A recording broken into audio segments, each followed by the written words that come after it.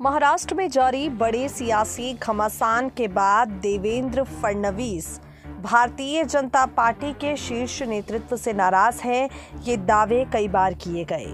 फडणवीस को लेकर बार बार ये कहा गया कि देवेंद्र को जिस तरह से मुख्यमंत्री की जगह डिप्टी सीएम बनाया गया है, हाईकमान का ये फैसला उन्हें नामंजूर है।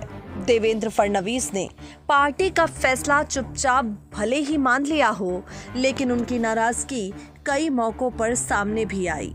और इसे लेकर अब बड़ी जानकारी सामने आई है। वो ये है कि देवेंद्र फडणवीस मातोश्री में जाने की तैयारी कर रहे हैं। फडणवीस के ठाकरे परिवार के साथ सुलझे हुए रिश्ते हर कोई जानता है। देवेंद्र फडणवीस और ठाकरे परिवार की नज़दीकियों से हर कोई वाकिफ है।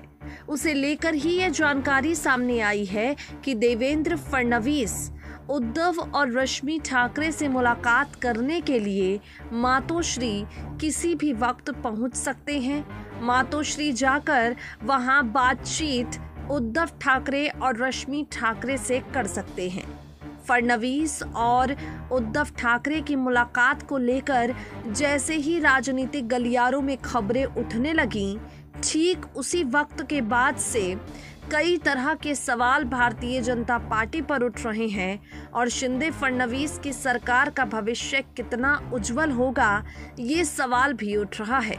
खैर, इस मुलाकात के सियासी मायने किस तरह से महाराष्ट्र में राजनीतिक बदलाव लेकर आते हैं, देखना होगा। नेक्स्ट नाइन न्यूज़ रूम की रिपोर्ट